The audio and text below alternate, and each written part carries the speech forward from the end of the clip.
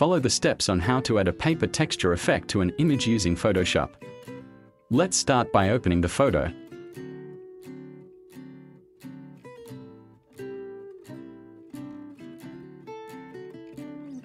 Then insert the paper texture image. You can get the description.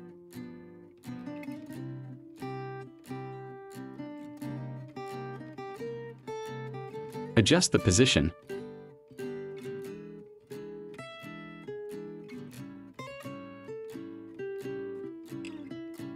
Then change the layer to multiply.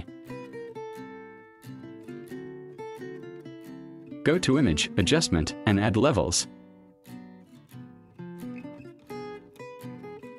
Adjust the shadow and highlight.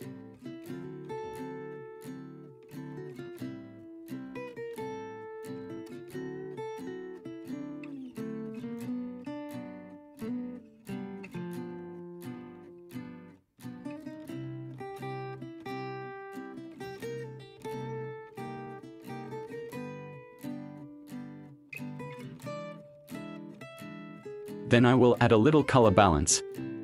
This is optional.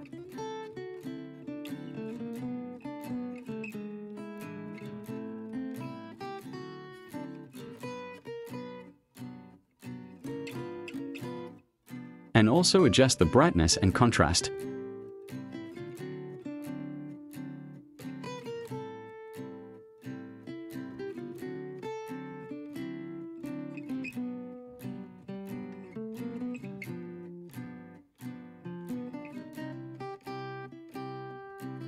Finish and good luck. Thank you for watching until the end. If there is something you don't understand, write a comment below.